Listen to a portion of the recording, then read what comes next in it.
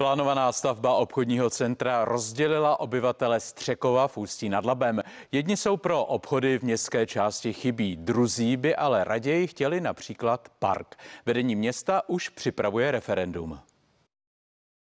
Takhle vypadala hlavní třída Střekova na začátku minulého století. Dominovaly jí reprezentativní domy. Po demolici v 80. letech po nich zbyly už jen volné plochy. Právě tady by teď měla nová nákupní zóna vyrůst. Celkem na třech parcelách, které jsou v současnosti stále nevyužité. Nákupní zóna na těchto pozemcích zahrnuje obchodní dům a dalších 2,5 tisíce metrů nákupní plochy, včetně parkoviště. O stavbě jejímž investorem je soukromá společnost se mluví několik let. Mezi místními má záměr své odpůrce i zastánce. Co se týče těch malých krámků, to by taky nebylo špatný, protože tady nám kde jaký krámek už zrušili. Tady skutečně nic jiného není, než jedna hospoda. Tady není nic prostě. Ani nahoře na Střekově, my jsme úplně jak vesnice. Sice to zabere nějakou tu zeleň, ale myslím si, že v tom prostoru, kde to je, tam možná maximálně někdo jde vyvenčit psa. V nákupních center už je tu dost, bych řekla. Tady v Teplicích, v Děčíně, že jo, takže jako není problém cokoliv kdykoliv sehnat.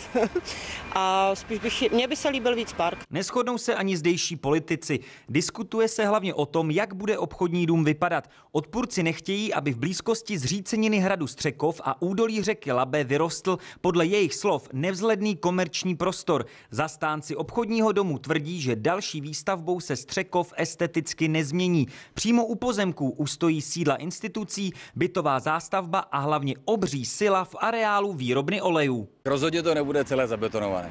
Za prvé je potřeba říct, že žijeme ve městě, tak eh, nežijeme v lese, takže nějaký beton, asfalt tady prostě být musí a součástí tady té stavby vlastně vzniknou dva parky. To, jestli bude jedna z těch tří parcel eh, pokrytá trávníkem, aby se tady tam mohli vyvenčit psy, eh, to si myslím, že nemůže vyvážit to, že tam prostě bude architektura periferie.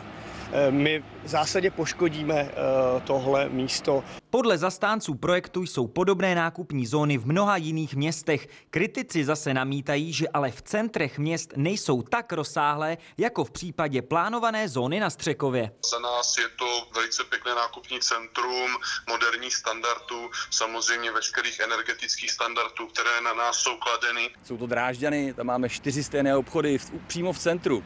Jsou to Karlovy Vary, kde nějakých 300-400 metrů od kolonády je stejný objekt. Tam to nikomu nevadí. V historických eh, centrech měst existují velké supermarkety, není nutné kvůli tomu eh, budovat primitivní haly. Dají se prostě instalovat do stávajících domů. O konečné podobě nákupní zóny rozhodnou lidé v referendu. To se uskuteční už na podzim spolu s krajskými volbami. Kristián Šujan, CNN Prima News.